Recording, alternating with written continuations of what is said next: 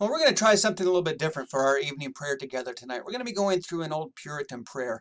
Of course, the Puritans would use this old, rich language that's just hard to match uh, use big, beautiful words as they as they prayed to God. Uh, and some of you are going to really like this prayer as we go through it, and others of you aren't going to like it at all. And that's okay. We're just uh, we're going to try something different and expose ourselves to something we're not quite used to tonight. Uh, but we won't be doing this every week, so don't worry about that. What I really want you to notice as we go through this prayer is not just the beautiful language, but I want you to notice that this prayer goes through that same AAA pattern that we've been working on these last few months. Uh, that pattern that Jesus taught when he taught us to pray, where we acknowledge who God is to begin our prayer. Then we spend time aligning our lives with his will.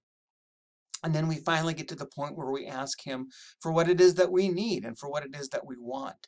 Um, this is not a very long prayer that we go through, but but notice the movement. It's going to begin by by acknowledging who God is in a, in a huge way. Uh, and then it's going to spend the bulk of the time aligning ourselves with God's will because that's really what takes the most amount of effort for us uh, because we want to wander away from God's will. And then finally, at the very end, there's just a couple of lines where it asks, uh, uh puts a request before God. And you can see this prayer is called Grace in Trials. Uh, this was written to prepare the person who is praying to, to face a trial um, not unlike what we're going to be facing as a society in these next few weeks. So we can pray this prayer to God to prepare us for what is to come. Um, we're not going to be mentioning any of our own particular needs as a congregation tonight, uh, and not because there are not important things for us to pray for. Uh, there are for sure. But what this is doing is just reminding us to pray in that AAA pattern so that we can be praying for the things uh, in our congregation all week long, where we acknowledge who God is we align our life with His will.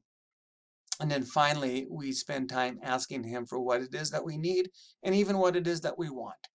Uh, because by the time we get to that point, after uh, acknowledging God and aligning ourselves with His will, what it is that we need and want are going to be very much the same things that, that God needs and wants from us. Uh, and so that's why we can ask for anything that we want, and God will answer that prayer. So uh, pray with me. I'm going to have the words on the screen so uh, you can pray with your eyes open uh, as we pray together tonight. This Puritan prayer, grace in trials. Let's pray. Jehovah God, thou creator, upholder, and proprietor of all things, I cannot escape from thy presence or control, nor do I desire to do so. My privilege is to be under the agency of omnipotence, righteousness, and wisdom, patience, mercy, and grace.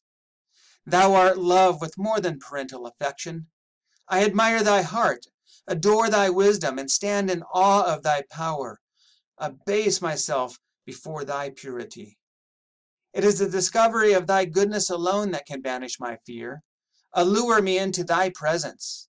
Help me to bewail and confess my sins.